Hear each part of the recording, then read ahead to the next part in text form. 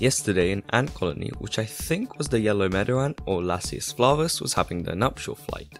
A nuptial flight is basically where virgin queens fly up with males to mate in the sky so that they can start new colonies. They all emerge at once, making the ground itself look like it's moving. One thing interesting I've noticed is that the males and females seem to fly out separately from different holes. I'm not sure if this is a coincidence or this is how it normally happens. I'm not an expert so I don't really know. Here is basically what the males look like, and here is what the females look like. The females are much bigger than the males and have a normal ant-like shape. The males are much smaller, thinner, and in my opinion they have a wasp-like body shape. The ants climb to the highest point they can find, which in this case will be the tip of the blades of grass, and take off to find other males and queens from different colonies. While filming I stood on an ant nest and got bitten a few times. Sorry ants. Here if you look closely enough you can see some of the ants flying away.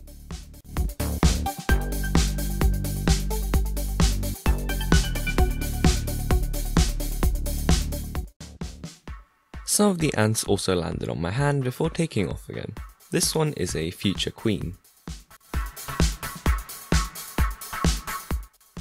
This one is a male.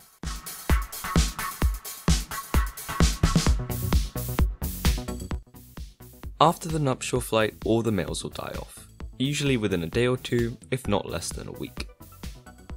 Many of the queen ants will also die out because of overheating, dehydration, predators, etc. I also saw a queen ant being dragged off by some Lasius niger or black garden ant workers. Once a queen ant has successfully mated, she'll tear off her wings as she'll no longer need them.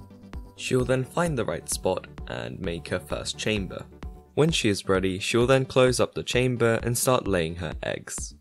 If she is successful, she'll continue laying eggs, and a colony may have up to 20,000 workers.